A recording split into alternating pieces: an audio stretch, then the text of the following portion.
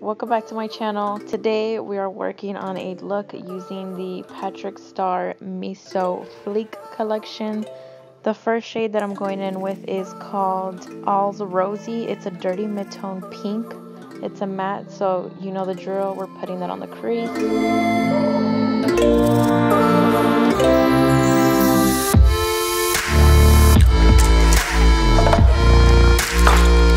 Next shade that I'm going in with is called Hickey. It's a bright pink with shimmer. Go ahead and put this on the outer V.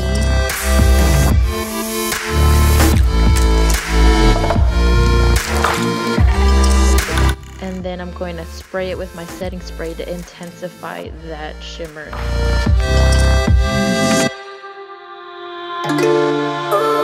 After I'm done with the intensification of that shadow, I'm going in with the shade in Living Pink. It's a pinky coral with gold shimmer and I'm applying this on the inner one third of my lid.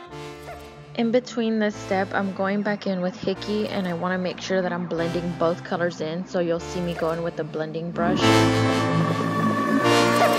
Okay, now we're going in with the blue. The blue is called In the Shadows. It's a vibrant dark blue with shimmer.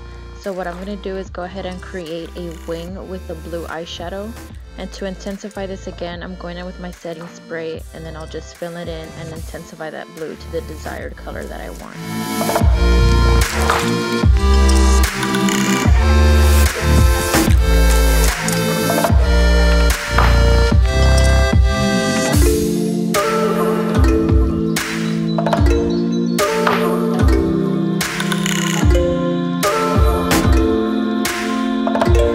For my lashes today, I thought it would be fun to still incorporate that blue. So I'm going in with these MAC um, Star Trek collection lashes. And as I was muting out my lips with some foundation, my sister comes in and she decides to show me her nails. I was like, hey, let me borrow your hand. I can use it to take pictures. Little intermission, back to the tutorial. Oh, I'm going in with the lipstick in the shade Hey Boy Hey.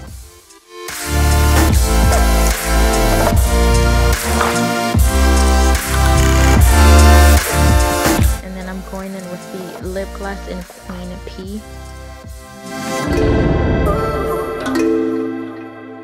That is it you guys. I hope you enjoyed this little quick tutorial using the Miso Fleet collection from MAC and Patrick Starrr.